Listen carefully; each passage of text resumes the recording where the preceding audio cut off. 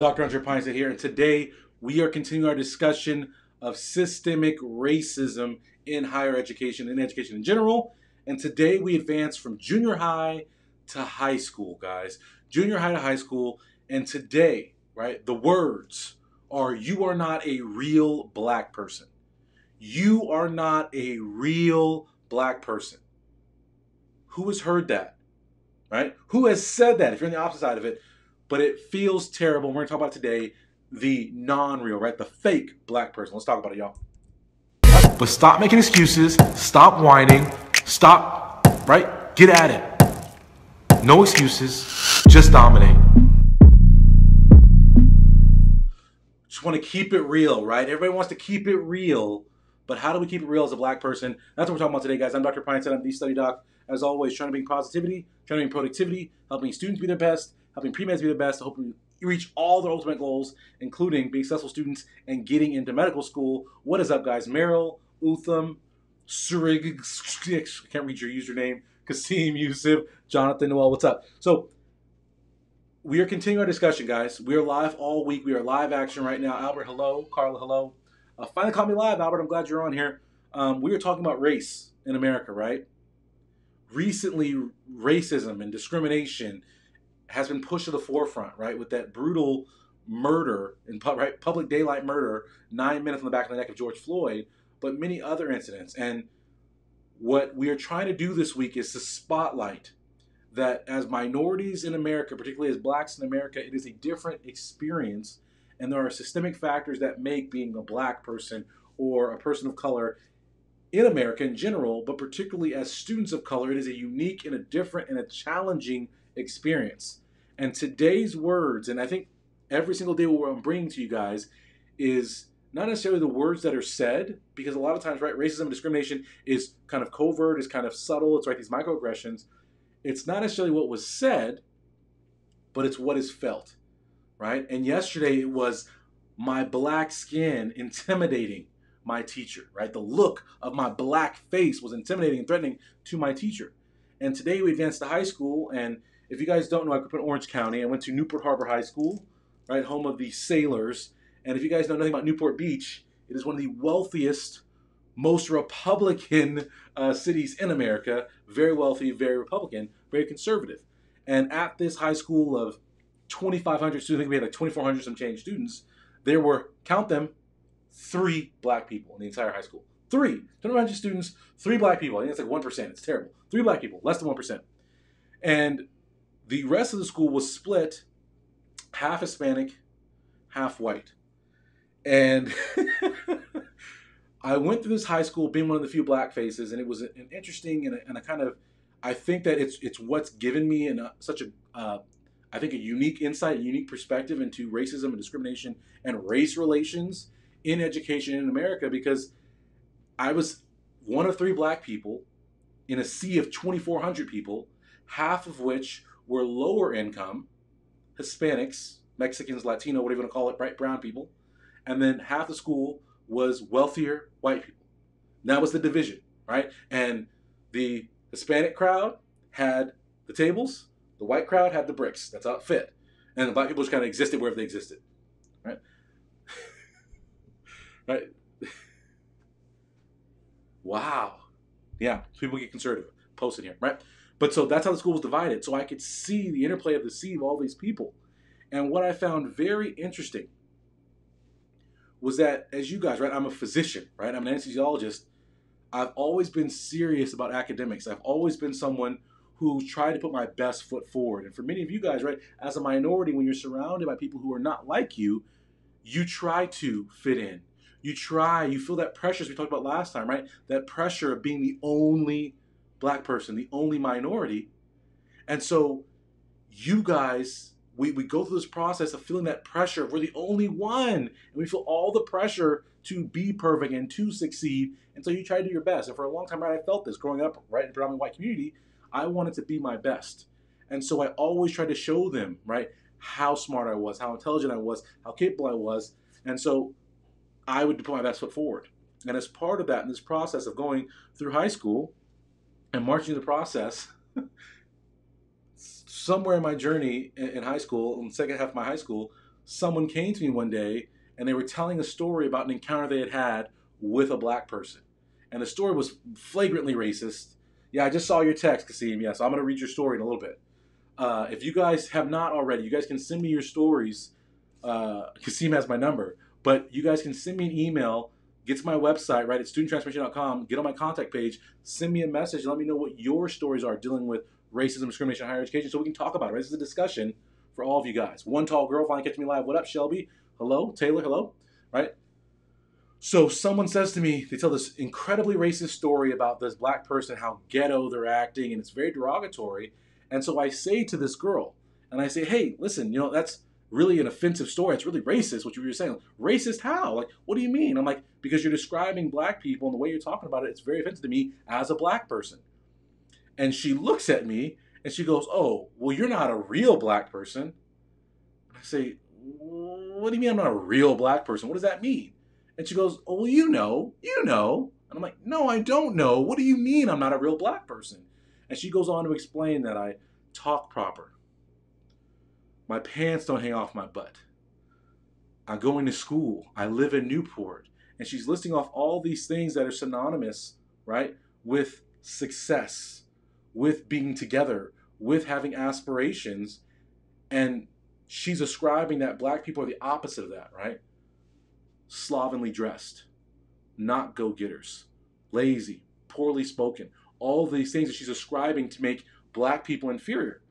And you can imagine, right, surrounded by white people, what do you say to that? And this is interesting. Carla knows this story. Like I talk to my student group about it all the time, right? Because I'm trying to create community in my student group, our cult of greatness. So we talk about issues like this. This is something that's real and it happens. And so what this prompted me to do was this this girl was actually on ASB, right? The Associated Student Body, whatever it stands for in high school, and was one of the school leaders. And the group of people around were also on ASB. And so it really got my goat, and I was pretty angry about it. So I decided that I was going to shift and change some things up. And before I get to what happened, when discrimination happens, when racism happens, when things like this happen, what is your guys' tendency? So, for my students of color, if you were in this scenario and someone made you feel less than, someone was being very racist, right, towards your culture, towards your people and was indirectly insulting you. You're not a real black person. How does it make you feel? What do you think? What do you do? What is your reaction to their actions, to their words?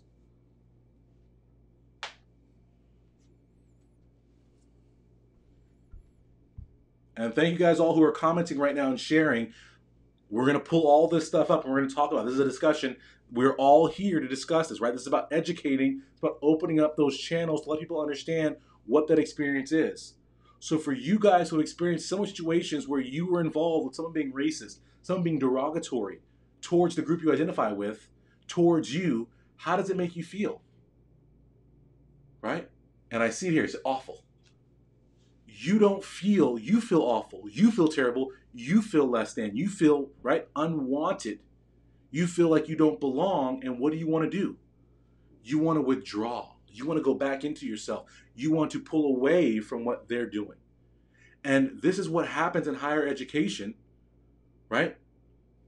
One tall girl just says, I get silent because I never know what to say, right? So what, what do you even say to that? You're surrounded by a group of people who all laugh and all think it's funny, right? It's hysterical. You're not a real black person, you know, you're not ghetto. Oh, and it's hysterical, but you're like, that's not funny to me. What do you do? And we recoil, right? We go inside our shell, we feel uncomfortable, and we miss out on opportunities. We experience loneliness. We don't have the connection. We don't have the support. Because when things go wrong in academics, which they do, right? School is hard. Sometimes you don't get the A. And you want to have a shoulder, someone to go to and say, man, I messed up. Things didn't go well. But as a minority, you're not afforded that opportunity because if you go to them and say, man, I really messed that up and I really need someone to tell this to, your word, they're going to judge you right? And you are going to become that stereotype they have for what a black person is, and you don't want to embody that negative stereotype, so you keep it all inside. And how many of you guys as minorities feel like you have to keep your right your soft underbelly? You have to keep your shortcomings. You have to keep your struggles. You have to keep your anguish inside, and you let it eat at you, and tear away at you, and pull away your focus, and make academic environment a negative environment right? That's what we do. And again, as you guys are gonna hear through all these stories, my parents have always been a beacon of centering me. And what my parents always explained to me is it's not about black, it's not about white, it's not about anything, it's about excellence. And if you want to shut people up and you want people to treat you differently, the way you do it is not by yelling, it's not by getting angry, it's not by firing back, and it's not by going into a shell. It's by being so excellent, so great, that all they can do is acknowledge your greatness. All they can do is see your greatness and be in awe. And so, like I said, these girls were all in student government. So I said, you know what? I got you. I got you. And I ran for senior class president the next year. And in the history of the school, there had never been a black senior class president. There had never been a minority senior class president. And in fact, 90% of the ASB and all of the elected positions at this time were white. So ASB elections are coming, right? And people put up posters, doing all this stuff. I'm not doing any of that stuff. I'm just on the ballot, and everything's a big joke. And I'm running against this girl who is was sophomore class president, junior class president, and is now going to be senior class president, right? Got it all. And I'm running against her. And they're like, why is this guy running against her? Oh my gosh, of course she's going to win. And they were mocking my campaign. I didn't put up any posters, none of that. Got time for speech time. what do you want to represent if you're elected ASB? And she got up, she gave this whole speech about how she was going to serve the student bodies and get more on campus parking and all that kind of stuff going on, right? She gives her speech. They hand me the microphone, and I said, hey, listen, I'm running because I want to change the face of our student body. I said, when you look around right now, half this school are students of color. And I said, if you vote for me, it's because you want more color. And I said, right now, right, we are not represented equally. And I said, all of all of my students of color vote for me. Make your vote count. Make our voice heard because I'll represent us, the students of color. And it was, and I'm watering it down a little bit for you guys, right? Giving you guys the filtered version, but it was something to that raw effect. It was all about race. And it was about representation, and about things being equal. And it was about feeling a part of the community and about having right being acknowledged and being treated right appropriately in the environment and the administrator of the school like pulled me aside and like why was it inappropriate to say i'm like why is it inappropriate to say she got to talk about parking why can't i talk about what i'm really passionate about what i'm running for the only reason i'm running is to talk about those things so this all happens and then i don't get to speak at the second assembly So there was two assemblies, right? The whole school couldn't fit one gym. So there was two assemblies. I didn't get to speak in the second one because I violated in the first one. Election day comes, and everyone thinking I'm not going to win. I won. And when I won the election, it was such a shock because again, this girl's incumbent two years in a row. This girl's supposed to win. All this stuff's going down. When I won, there was such a shock about it. They actually had a revote because like there's no way this guy won the vote. Revote. And what was amazing was the second revote. I actually got more votes, won by a larger margin than the first time. And from that position, I was able to make moves in ASB to change policies, to do different things. And one of the things that came up, it was actually kind of fortuitous, right? The first dance of the year, what should our theme be? And I'm in this ASB meeting, and they're like, oh, you know what we should do? I know we should do. And this is, again, I'm old, guys. This is early 2000s, right? This is Nelly right? This is that time. And they're like, oh, you know what we should do? We should do a ghetto hoedown. That'll be a fun dance theme, a ghetto hoedown. You know, we'll get fake chains and we'll get baseball jerseys and we'll get big baggy pants with the belt buckles, get some Air Force Ones. And they were like making a mockery, like bandanas and headbands. They're making a mockery, do rags, making a mockery. Oh, we get braids and they're making a mockery, right? of what they perceived to be ghetto culture, which was really right how black people were dressing at that time. Right, those were popular. Right, everybody had a everybody had a FUBU jersey. Right, I know I had a FUBU jersey. I had a velour sweatsuit. I was ready. Right, but they were mocking this, and they were going to dress up like this, almost like dressing up in what blackface. I thought that was the equivalent. So I was like, no, this is highly inappropriate, and so I put the whole veto to that. Right, but that is the whole example, guys, of how in an environment that's not easy to do. And I sell this story not because of what I did, but understanding that that's becoming senior class president, right? If you were to see that on someone's resume, like, oh, senior class president is not really impressive.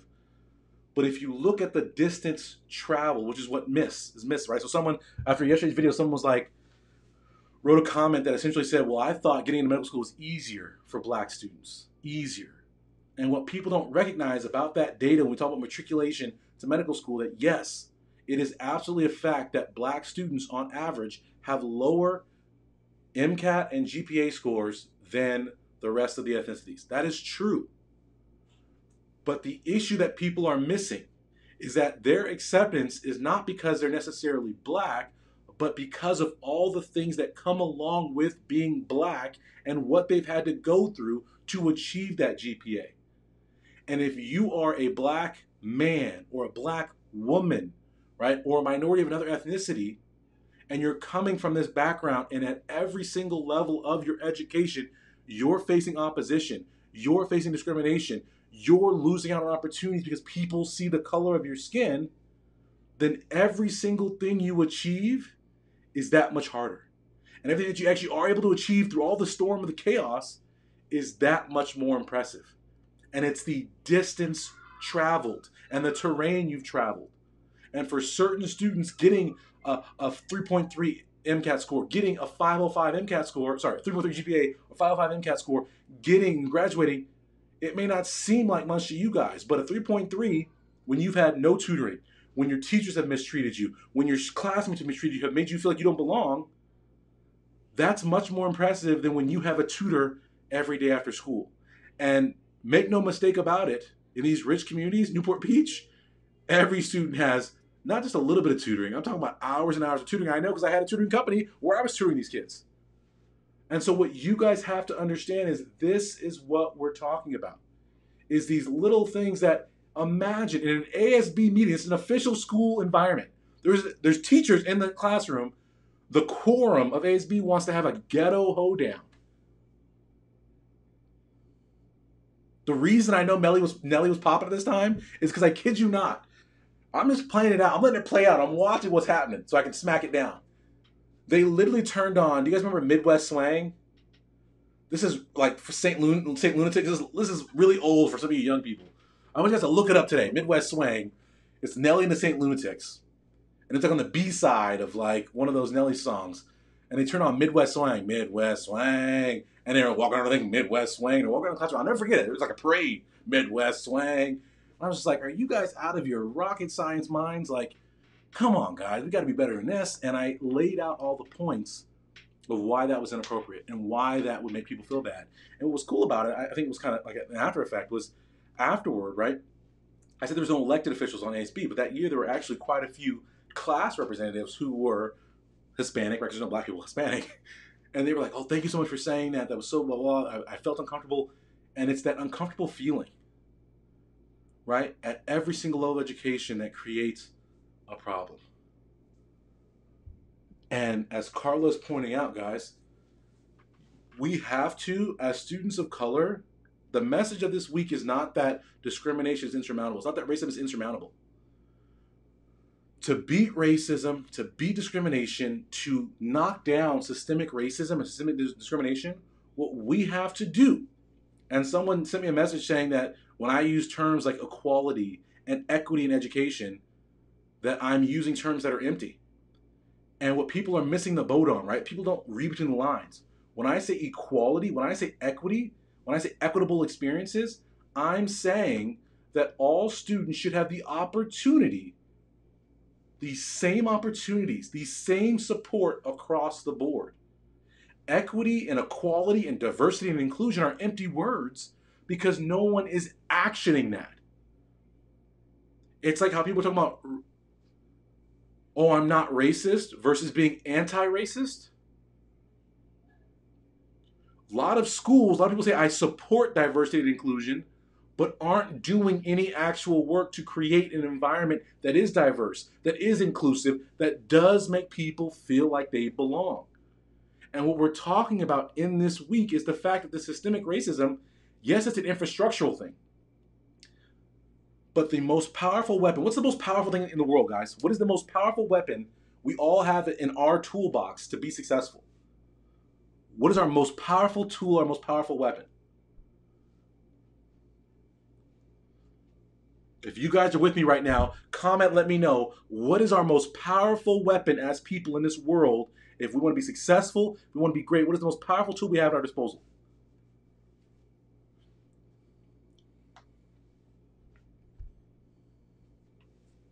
Right? And if you guys are with me and you guys understand where we're going with this, please take a second and like the video. Let me know I'm on the right path so I know where we're at and I'm not like, I haven't lost you guys, right? In, in, in, in the shuffle. And Herschel, one of my students, says it right, right?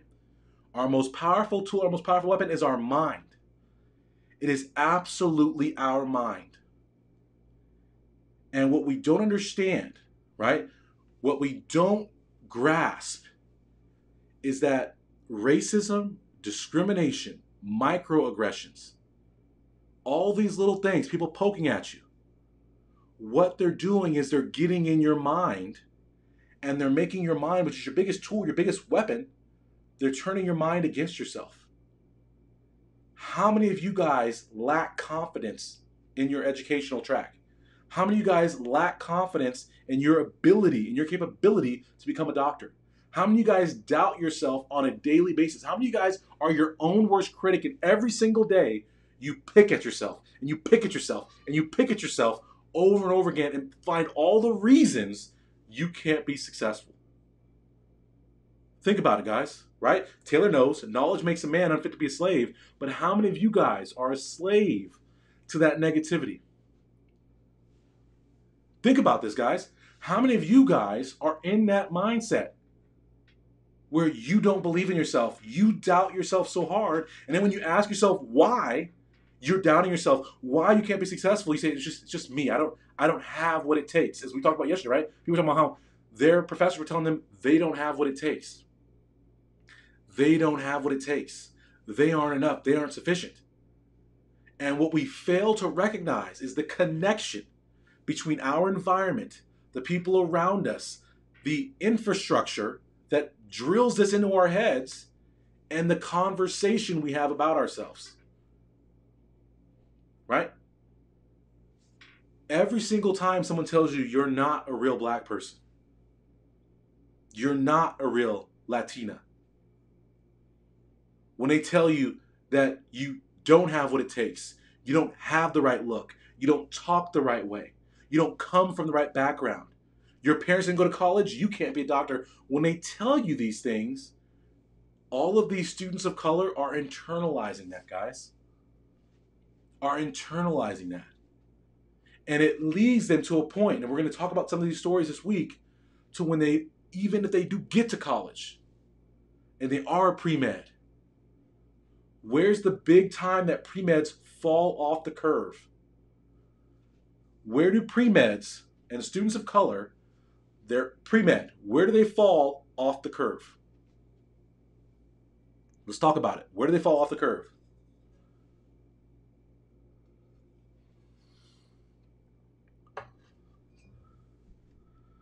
Natalie, I like to see that. Right? Being in the negative mindset, but trying to change, trying to get better. And we got to work at it. We got to work at it. But where do pre meds, where do minorities in higher education, where do they fall off? There we go. Surex had the correct answer. It's first semester and it's first year of college. Right? We all know what Azar just said it. First semester and freshman year that's where students of color, that's where minorities fall off. And the question becomes why do they fall off at that point? Why? Because they go in, as I went into college, feeding into the hype that I don't fit in, I don't look like other people, I'm not the same as them, I'm not capable, I'm not smart like them, I don't have research like them, I don't have parents who have been here, I don't have it. And then when you hit that first stumble, that first speed bump, what don't you guys have? What don't our students of color have? They don't have the mental fortitude. They don't have the mental belief, the self confidence to say, hey, it's just a speed bump. This struggle is part of the process. I am capable of overcoming this. I am capable of getting through this. I can be successful. And so they do what? Change their major. They transfer out. They drop out. They don't become pre-med anymore. They fall into something else. They can't even overcome the first speed bump. And where does that come from? From being told consistently, persistently throughout their journey, they're not a real black person. You're faking it right now. that ain't you, right? That intelligent person talking all proper, knowing words, dressing professionally. It's not you. Let your real self out. You're the ghetto hoedown. Be that person. That's you. This ain't you right now. You faking it. and so we talk about imposter syndrome. Where does that come from? From being told you're an imposter through your whole journey in incidents like this. Whether it's telling you you're an imposter or subvertly telling you you're an imposter. Does everybody understand what I'm saying? So, my courses, right? I always have a big mindset component where I'm trying to fortify, trying to eradicate the negative feelings you have, the negative emotions, the lack of confidence, the extreme doubt you have. I'm trying to take that from a place of doubt to a place of confidence and then give you the skills and the tools to be certain and to, and to know you can execute. But I have to first attack you telling yourself that you're not a great student. You telling yourself that you can't get into medical school. You telling yourself that you are someone who's ghetto. You are someone who's incapable. You are, no, guys, you are who you choose to be. And what real black means is what you make it. You are the image of blackness, however that is, and you choose it. But we have to first understand that people in this system, this racism, discrimination that we experience is going to pick at your self esteem. And we have to work to build that and build capability and build young students of color's confidence that they are math minded, that they are STEM capable, that they are future doctors, dentists. And that's why I think it's beautiful that people are on social media, student, people of color who are saying, listen, I come from where you come from. I am from that neighborhood. I am from that street. I know exactly where you're at. But I got you. I, I made it. You can make it too, just like me. I think that's beautiful. Right? That we're trying to reverse that. That's what we're trying to do. But it's hard when you see someone online, but then when you're in your environment every day, you're there alone, right? You're behind enemy, lines. And people telling you that you aren't enough, you aren't sufficient, you aren't capable. Does that make sense to everybody? And Carla asked, how can we help other students of color change their mindsets? And again, this is going to be an unpopular opinion. Too many people are following what I call the C1B1 model. Does anybody know what the C1B1 model is? I'll ask. C1B1. This is when we have students you're a student of color, you're a peer counselor, you're a peer tutor, and someone's struggling, and you say, hey, listen, you'll be fine. I can do it, you can do it. And that's what you say. Hey, I got through it, you'll get through it. And we stop right there. See me, be me. C1B1 model. You guys understand what I'm saying right now? See me, be me. Hey, I'm a doctor. I'm an anesthesiologist. You can be an anesthesiologist and a doctor. Go be it. And we stop we got to take the extra step, as Carl was pointing out. We got to take the time. And I know we're busy. And we talked yesterday, I think it was Jay was talking about the pressure, right? You're the only minority. You feel the pressure to keep running to be perfect. But sometimes we have to recognize when we are achieving, when we are succeeding, it's important that we take time, not just to say, see me, be me, but to show me. Show these students what it took right? Oh, yeah, I was where you were and now I'm successful. What's the gap? How did you change your mindset? How did you have more confidence? And for me, I tell all my students, you guys want to build confidence? It's baby steps, y'all. Small successes, small victories. I say every day I set two goals, and I'm I, I, I rack up wins every day. Learn something new, teach something. Learn something new and teach somebody something. And if I do that every single day, it's a victory. When I was in college, you know what I want to do when I want to turn my academics around? Small victories. It wasn't getting an A. It was, hey, every day that I study when I'm supposed to study, that's a win. So when I go out and I do a seminar and I talk to students, the first thing is, hey, consistency. Don't try to get grades. Don't worry about that. Just get consistent with your studying. It's simple. Think about that. How many of you guys, if you were just consistent, how much better would your grades be? If you were studying every week, every day, how much better would your grades be? Truthfully. So I say, hey, just get consistent. Make every day a win. Doesn't have to be great studying, doesn't have to lead to an A. Can you just study when you're supposed to study? Can you just get consistent? I start there. And then I say, okay, now to get consistent, here's what I do. And I follow all these steps. I'm going to break it down. And I teach them five pillars. But just get consistent. First, consistent, then skilled consistency, right? Then sustained skilled consistency. That's it. You guys want to be straight A students? Consistency, high skill consistency, sustained high skill consistency. That's it, baby. It's that simple. So we have to get past the see me, be me, and get to the show me, where we are providing resources. I was just having this conversation today um, with one of the heads. You guys know I'm at UCSD, and I was talking uh, to one of the lead educators who's a bridge between the School of Medicine um, and the hospital. And they do a lot of simulation with medical students, and they do a lot of different things. And they were saying that working with medical students, one of the challenges, and they're like, man, I just don't understand. And this is this is a, stu- a person of color, right? And they're they're not black, right? But they're a person of color. And they were saying like, man, it, it really pains me because we get these medical students who come through, and we do a great job of getting certain students in to our medical school, to our undergrad.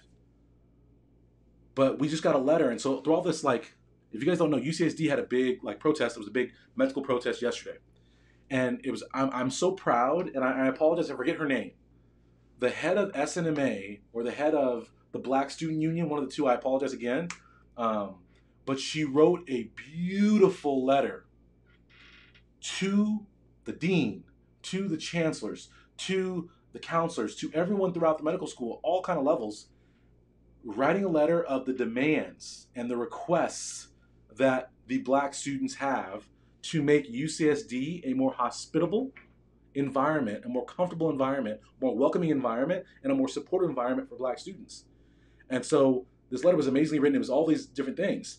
But one of the things that this student mentioned was resources. And it was funny because the this person who's one of these educators was like, Yeah, I read that, I didn't understand what they meant by resources. Like we have a center and we have a I'm like, what good is an empty building without the teaching? without the show me aspect, right? Assigning them a, a mentor who's a physician and students are testing me right, texting me right now. Don't text me your messages, your stories right now. You can text me before we start. Um, but was requesting and didn't understand what that gap was. And I said, well, resources, an empty building is just an empty building. It doesn't facilitate learning unless there's someone there to teach. So if you have people who don't have the study skills, who don't have the test taking skills, right? That's why I'm working, right? I'm doing two presentations the next month for medical schools. I'm doing one for first year students who are just starting their journey into medical school at one of these medical schools. And then I'm also doing a second year class at a different medical school talking about how do you succeed the second year academically. And this is a resource, right? I'm providing them resources, instructions, and showing them, okay, listen, here's how you succeed in medical school. Here are the steps that it takes to get a great step one score, to do well in your classes, to not be overwhelmed by the fire hose that is medical school. These are the steps and so when the student was asking for resources for these black students, that's what they were asking for. But the disconnect was these educators didn't understand what that was. And that's the gap and that's the separator. So that was a long point to talk about what we're talking about. But I was really proud of this letter and the way it was written. Um, beautiful, like black woman speaking out on this was, was phenomenal to see that letter. I was really, really proud of that. So that's what we're talking about, Carla. So that's how we go from this place. We have to understand we have to a try to remove right and this is where this cultural competency this is where this training this is where being anti-racist they want to say whatever but whatever it is advocate if you're in a group and even though you may not be offended if someone says something that is racist that is discriminatory and you know it and you don't say something then you're part of the problem because you're allowing right you're allowing an environment that is not inclusive to persist. So we have to, right? People talk about we don't need allies. We do need allies in this movement, guys. We need people all colors and backgrounds to stand up and say racism, discrimination, it's not funny. It's not funny. It's not it's not appealing, it's not cute. I won't allow it. And I'm going to stand up to it to create an environment where this black student doesn't have to hear that they're not a real black person. They're going to have an ally in me and someone that makes them feel like they belong. So there, getting these students resources and then going beyond just show me be me or sorry, see me be me to show me. Yeah. We got to go beyond mentorship to teaching. Everybody still with me? All right, so we're gonna wrap things up, but we're gonna continue to move through this. And I apologize, I didn't get to anybody's story tonight because I got I got to talking. um, but tomorrow we're gonna continue our journey, and I'm debating whether we should go all the way back to elementary school and I'll break down some elementary school stuff because I got some really good people sent me some amazing elementary school uh, stories of systemic racism. So maybe we'll do that tomorrow, or we'll either do that or do college racism. Yes. All right. If you guys enjoyed this video, I appreciate you guys hanging out with me. Like I said, we're going to be live all week, approximately 5 p.m., depending on when I got off work. I just got off work a little late today, um, so I'm here now. But we'll be around 5 o'clock. Uh, tell a friend. We're talking about systemic racism in education. We're talking about incidents. We're doing story sharing. sharing. I apologize I didn't share more people's stories today, but I will tomorrow um, at 5 o'clock.